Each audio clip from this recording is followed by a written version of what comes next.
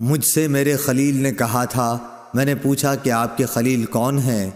जवाब दिया कि रसूल अल्लाह सल्लल्लाहु अलैहि वसल्लम अय अबू ज़र, क्या अहद पहाड़ देखता है?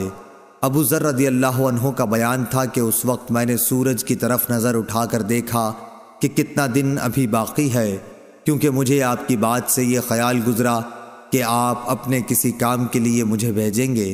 मैंने जवाब दिया कि जी हाँ अहद पहाड़ मैंने देखा है।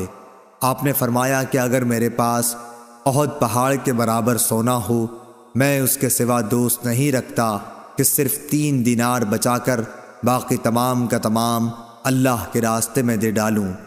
अबू ज़र रदी अल्लाह उन्होंने फिर फरमाया कि इन लोगों को कुछ मालूम नहीं, ये दुनिया जमा करने की फ़िक्र करते हैं। हरगिज़ नहीं, खुदा की कसम न मैं इनकी दुनिया इनसे माँगता हूँ और न दीन का कोई मसला इनसे पूछता हूँ। ताकि मैं अल्लाह ताला से जा मिलूँ सही बुखारी, हदीस नंबर एक हज़ार चार सौ आठ।